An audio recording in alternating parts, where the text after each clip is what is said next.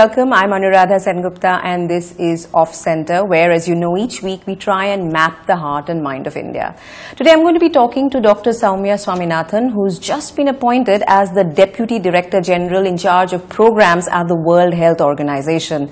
As you may know, health has been at the core of the Millennium Development Goals that the United Nations had identified in its attempt to eradicate global poverty. Health continues to be at the center of the Sustainable Development Goals that the UN has adopted subsequently. So let's find out the possibilities of this new role and also find out how India has been faring in achieving positive health outcomes. Dr. Swaminathan, it's good to be talking to you and many congratulations on this new role. Thank you very much. Were you Thank surprised? I was very surprised, yes. Wasn't expecting it at all. But I think it's, um, you know, thanks to the Indian government that uh, has been working closely with uh, the new DG of WHO and uh, the recognition uh, that India uh, really now will play a very important role in global health. So, you know, I'm thankful to them to, for having made this work and for having considered me worthy. It's going to be a huge challenge. Uh, what is the kind of perspective that your experience and expertise in the Indian healthcare system, uh, in the socio-economic society that we inhabit, how is that a perspective that the WHO should benefit from or could use? I think the one of the interesting things of uh, living and working in India is that it's a world nation within nations. Yeah. You know, in the sense that you have the best facilities. I'm talking of medical facilities, world class, absolutely, in some of our urban centers. Uh, doctors, you know, better experts than anywhere else in the world in infrastructure and everything. And on the other hand, you go a few hundred kilometers out of these big uh, mega cities and you see poverty, you see uh, people really malnourished and undernourished, very poor access to quality health care, being exploited by quacks, uh, complete extremes. And therefore, one has seen both ends. In fact, just day before yesterday, I was in um, an area near Gwalior where a primitive tribal group called the Saharias, uh, they've been found to have the highest rates of TB in India consistently, and it's been going up over the years.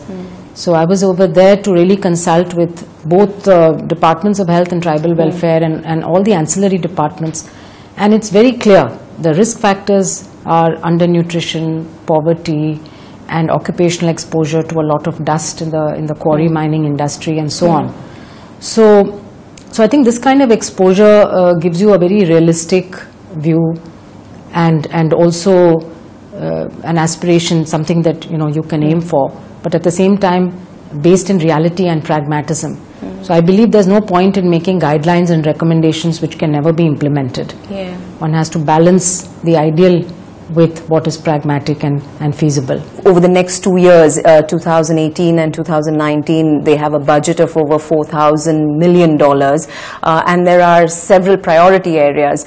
Um, so, how does a country like India, which has such a huge challenge on the healthcare front, um, benefit from organizations such as the WHO? I think if you look at some of the big success hmm. stories where WHO has played an absolutely critical role, would be first of all the eradication of smallpox. Hmm. You know, it was one of the WHO DGs who made that his vision and mandate, hmm. and he picked up something which was doable, but at the same time was a big, huge problem. But uh, there was a vaccine, and and therefore it could be eliminated. The same story with polio Yeah, in, in which India has really in which India has played a stellar, well, yeah. incredible role. Yeah. No one thought India would eliminate Eradicate polio. so quickly. Yeah. It was done. We've been polio free from 2011, Hmm. and we've become a shining example uh, because most people didn't believe that India would be able to eliminate polio.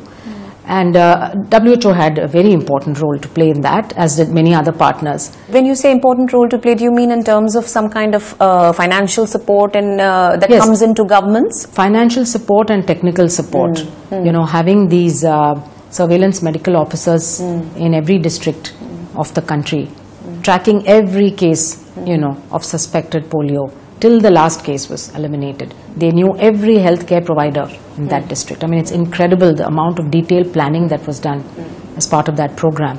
And of course, Indian government has to take full credit for it hmm. But the WHO and uh, the Rotary and other big partners played an important role in that. The uh, another example that I can think of is HIV. When HIV was killing millions of people in the early 2000s, and the Western countries said that antiretroviral treatment is not possible for the developing world. It's only something which can be done in the rich countries. Poor countries, no way. And then a couple of things happened. Uh, Indian generics, particularly Cipla, uh, Mr. Yusuf, uh, Dr. Yusuf Yeah. Hamied got into the act and took it as a challenge to produce low-cost antiretroviral drugs. And the second thing was that WHO launched the 3 by 5 initiative to get 3 million people on treatment by 2005 and that was somewhere uh, around 2000, early 2000s that that was launched. And today we have you know seven, uh, 17 18 million people majority of them in africa on antiretroviral treatment. And the treatment outcomes are as good as those in the western countries. So it was completely the whole thing was turned upside down. And uh, and it was leadership of WHO that that made that that difference. One of the leadership priorities or focus areas for the WHO is universal health coverage. Uh, in a country like India, universal health coverage, how does it work and how is it possible to achieve that in India?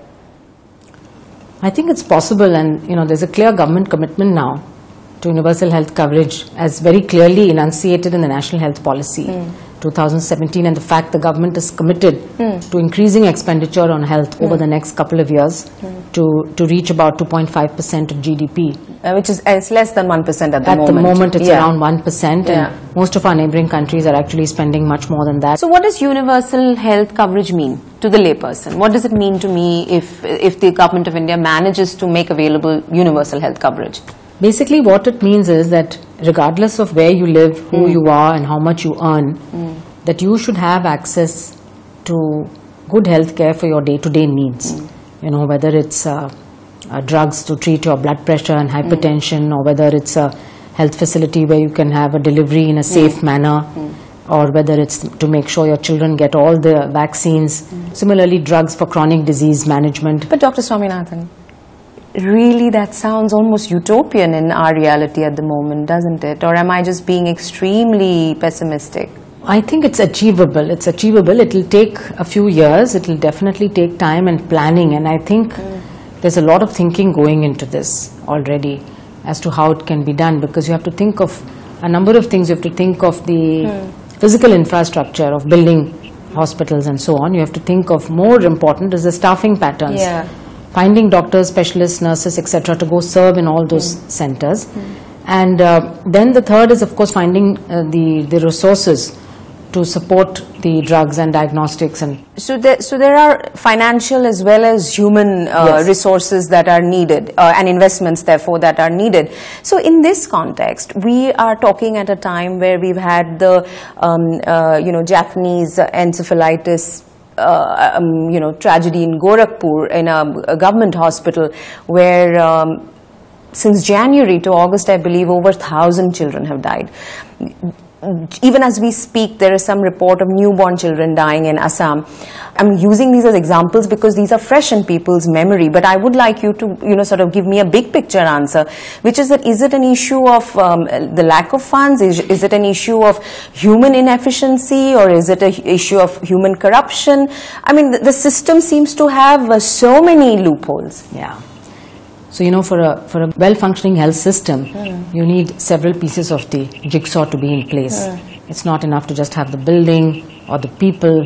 You need the the supply chain logistics. If your drugs and other kits are not reaching on time and you run out of medicines, Another case Um, of UP where it seems industrial um, um, industrial gas or whatever was used as anesthesia. So supply chain, you know, the resources, the human uh, resources, the physical resources, and then the governance mechanisms. You know, who's supervising whom? Are people actually showing up there? Are they on duty on the at the hours which which they're supposed to be? Are they really catering to uh, patients?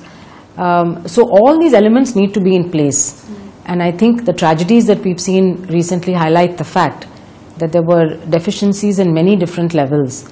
And I can give you an example from a research that we did in Gorakhpur. We found that 70% of the, par- uh, the parents of the children who had been admitted to the medical college said that they had only consulted quacks before they came to that medical college. Which college. means they had no access they did not in their go to a primary health center or a government facility and not even to a qualified uh, private practitioner. They went to quacks. It means that coverage is not available to people, isn't it? In some parts of the country, yes. So within the country, we have a lot of uh, contrasting situations. Hmm. And so, in fact, the southern part of the country has a better, hmm. well developed, be- better functioning health system, and that's hmm. reflected in some of the indices like infant mortality and Yeah, maternal maternal, mortality rate. yeah. And then you have the EAG states, which still have a lot to catch up on.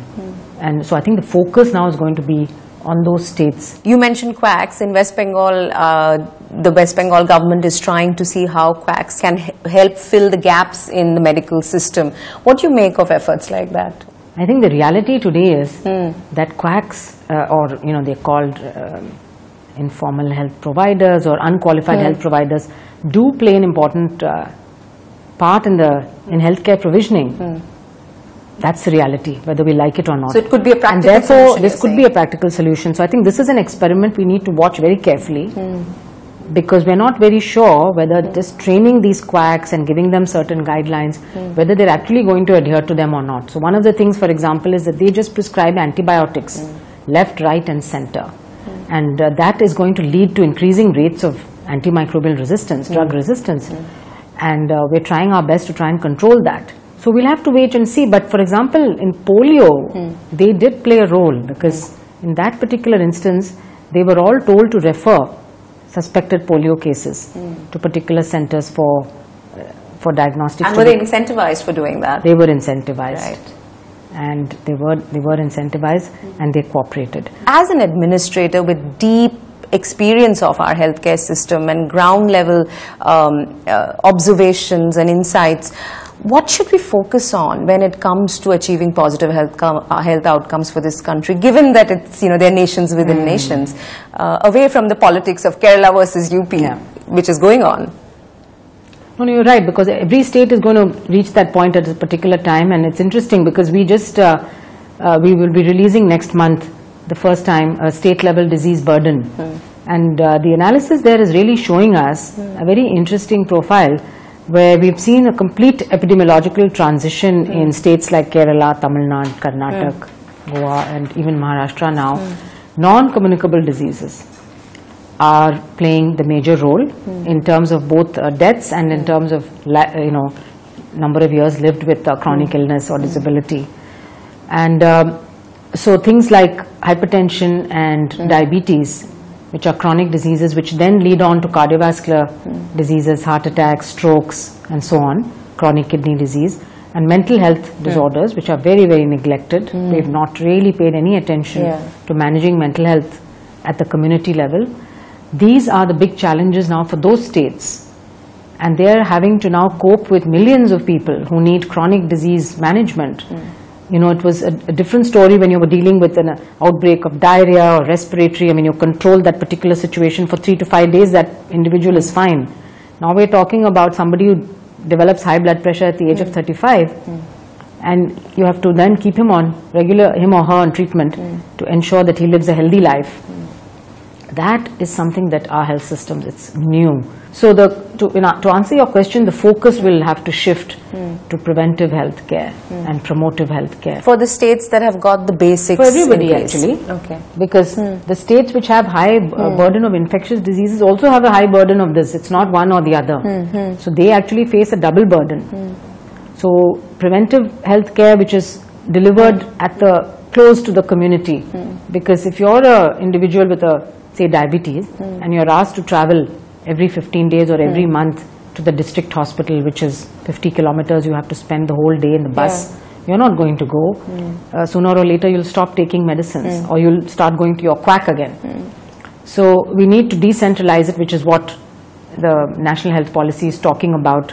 These health and wellness centers, health and wellness centers for every 5,000 people, so that you have uh, a medical officer, maybe an Ayush doctor there, or even a nurse, a well-trained nurse who knows how to measure blood pressure, give advice, give nutrition advice, and, and also give you the treatment for some of these simple uh, diseases. You don't need to travel then to see a doctor every time. Uh, but, th- but this is the new challenge now before us. And we haven't yet uh, overcome all the earlier, cha- older challenges. No. So we'll have to balance both for some time. What should the government prioritize? Increase in the budget? Even though health is a state subject, if I'm, yeah, health is a state subject. Uh, Yes, definitely the health is a state subject, so there's a central uh, Hmm. component of the budget and a state component, and some states have put in more than Hmm. uh, what other states have done, and they've been able to provide Hmm. some degree of uh, health insurance to large parts of the population.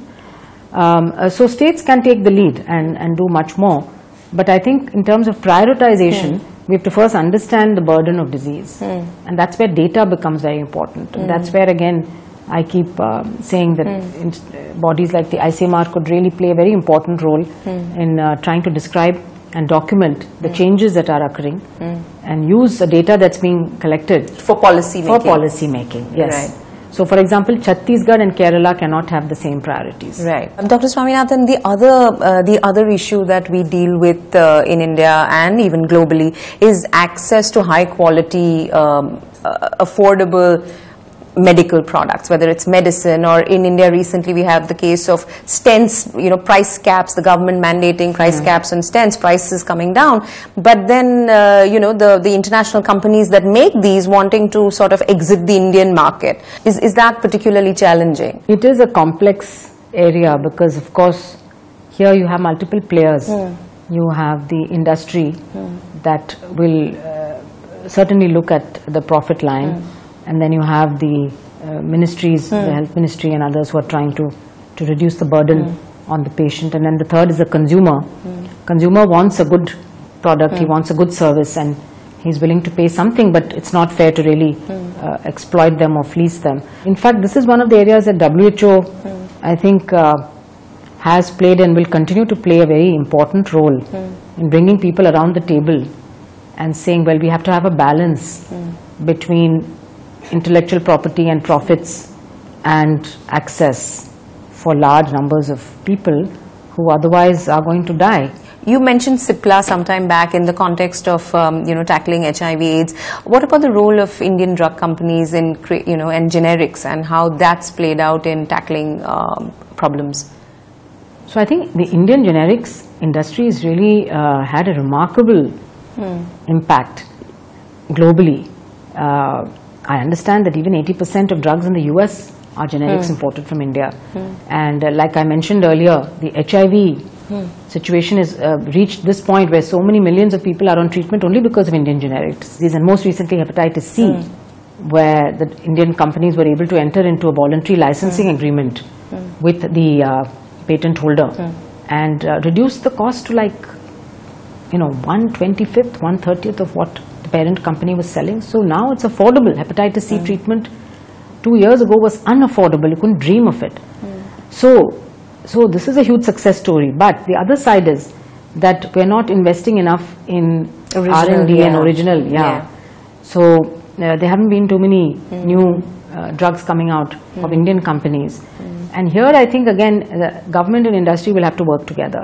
Because if you look at a country like the US, where the NIH budget, annual budget is $30 billion a year, a lot of the early research is funded by government there. Yeah. So the companies are not taking the early risk. Mm. You know, the early research is risky, and uh, you do years of research to find one particular molecule, and then mm. it goes through so many other stages of testing.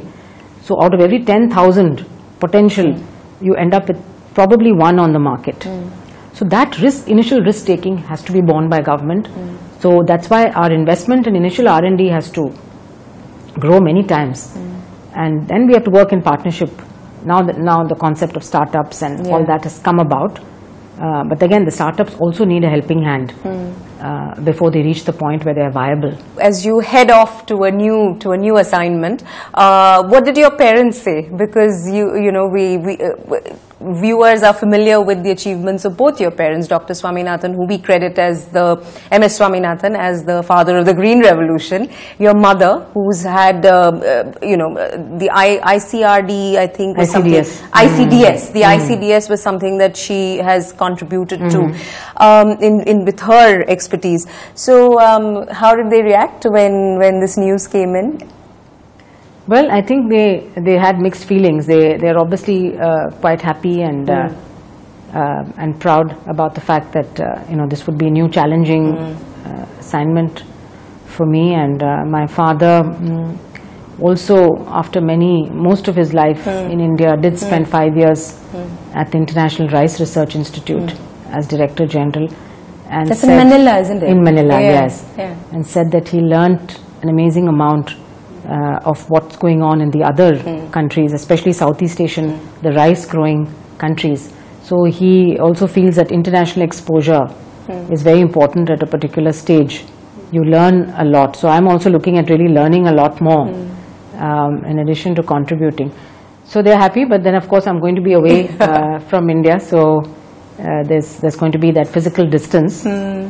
Dr. Swaminathan, we wish you a lot of good luck. Uh, but before we say goodbye, you've got to leave us with a piece of music that you could play on a loop because it's special to you. Uh, one of my favorite pieces is uh, Maro Pranam Banke Bihari, sung by Kishori Amonkar. We wish you a lot of good luck. Thank you so much for talking to us. Thank you very Thank much. you. It was a pleasure. Thank you. मारो